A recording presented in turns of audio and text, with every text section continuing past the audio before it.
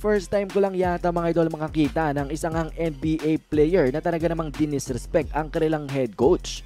Pero bago nga natin yan ipaliwanag at pag-usapan ay eto muna ngang balita patungkol kay Andrew Wiggins. Dahil ngayon nga daw e balik na siya sa Bay Area kung saan andun ang kanyang team na Warriors. At yan ay matapos nga mga idol na ilang linggo nga daw na out of town itong si Wiggins. Para bang nakipag-break muna siya sa larong basketball. Nag-cool off nga muna sila dahil nga sa mga medyo matindi siguro na pinagdadaanan na problema neto nga ni Andrew Wiggins. Well, hindi naman daw ibig sabihin yan mga idol na magbabalik na agad itong si Wiggins para nga sa Warriors sa kanilang next game. Pero ito daw ay magandang ang balita. Isang positive news mga idol, baka mamayay working towards pag-return na itong si Wiggins.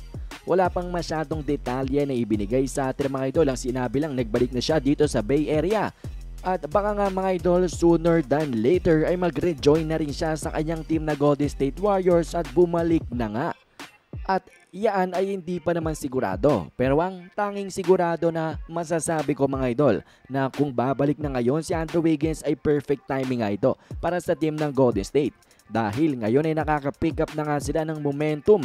Meron silang 2 game winning streak, 6 and 4 sa kanilang last 10 games. Nananalo sila na ngayon mga idol sa road games at very dangerous ang kanilang team sa mga home games nila na may 32 and 8 record ay tapos dadagdagan pa natin ang Andrew Wiggins. Na alam naman na siguro natin kung anong maidadala niya dito sa Golden State Warriors na talaga namang pinakita niya ng mga idol sa last year's playoffs ay mga mga idol ang Golden State Warriors ay maging serious threat nga dito sa Western Conference para nga sa mga top team dito nga sa West na Nuggets, Grizzlies at pati na rin ang Sacramento Kings.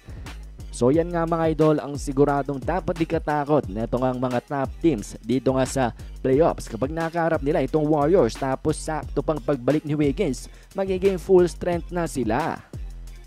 At ngayon ngay pag-usapan na natin, ito nga isang Rockets player na binastos nga talaga. Ito ang kanilang head coach na si Stephen Silas. Nag-viral nga itong si Josh Christopher mga idol na second year pa lamang sa NBA, 21 years old na kung saan minamak, inaasar nga ang kanilang head coach matapos nga siyang ilabas. Well kung hindi kayo pamilyar mga idol dito nga sa sitwasyon ng Rockets ay hindi nga maganda daw ang relasyon nito mga Rockets players sa kanilang head coach. Para bang may alitan mga idol, hindi pagkakasunduan Parang sa the way ng pag-coach ni Stephen Silas ay hindi nga inaagrihan ng mga Rockets player. Hindi man natin yan malalahat mga idol pero for sure, isa na si Josh Christopher dyan. Kitang kita naman mga idol na talagang inasar, minamak niya nga itong kanilang head coach.